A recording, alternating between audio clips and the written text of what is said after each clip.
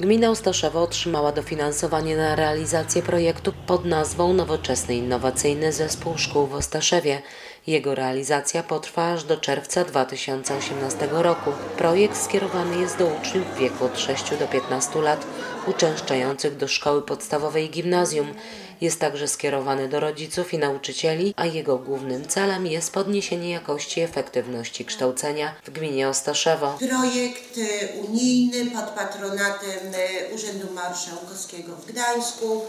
Nowoczesny i innowacyjny zespół szkół w Ostaszewie. Oj, pieniążków jest bardzo dużo. Trwa nabór uczniów. Y, Rozpoczęliśmy właśnie taką rekrutację.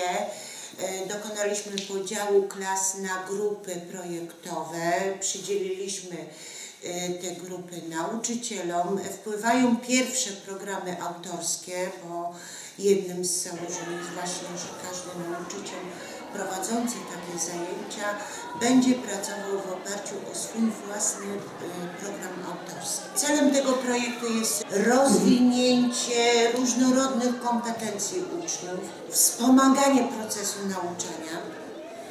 Y, Podejrzewam, że również zależy na tym, żebyśmy y, pokazali poprzez różnorodne zajęcia sposoby różnorodne, nowoczesne sposoby takiego skutecznego uczenia się.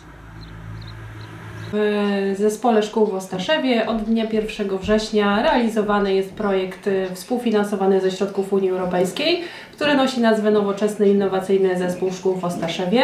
Projekt cały to jest kwota ponad 900 tysięcy złotych, natomiast kwota dofinansowania to jest 860-870 tysięcy.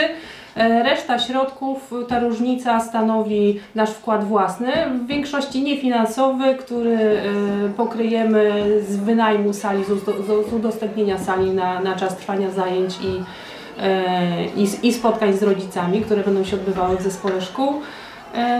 Podstawowe założenia programu to jest e, przeszkolenie wszystkich nauczycieli e, i, i prowadzenie dla nich wsparcia e, podczas prowadzenia zajęć z uczniami, przeprowadzenie dodatkowych zajęć z uczniami, które będą miały na celu wspomaganie ich w celu, nie wiem, szyb- szybszego zapamiętywania treści, lepszej nauki czytania.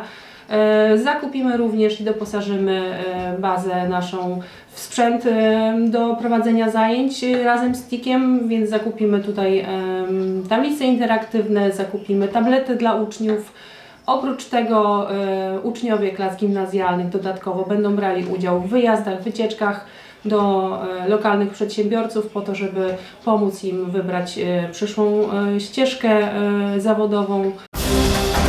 TV Regionalna 24.pl TV Malbor TV Sztum. Żuławy i Mierzeja 24.pl To my tu kręcimy.